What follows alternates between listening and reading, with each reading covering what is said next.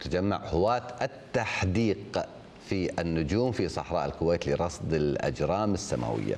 في الصحراء الساكنة تجمع عشاق السماء الذين لديهم فضول نحو الكواكب والنجوم المتلألئة لاستكشاف الكون وإلقاء النظرة واضحة على هذه الأجرام التي تجول في السماء. يعني بس قاعدين يخزون الأجرام في السماء. نعم. خز إيه. طبعا يتمركزون بعيد عن التلوث الضوئي. هذا أمر أم آه، مكنهم من رؤية صورة مفصلة للقمر والحفر المنتشرة على سطح القمر.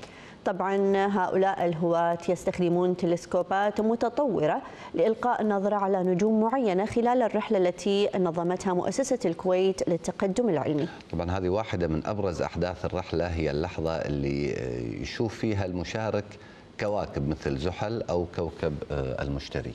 نعم وتم تعليم هواة التحديق في النجوم كيفية التعرف على الأبراج واستخدامها لتحديد الاتجاهات.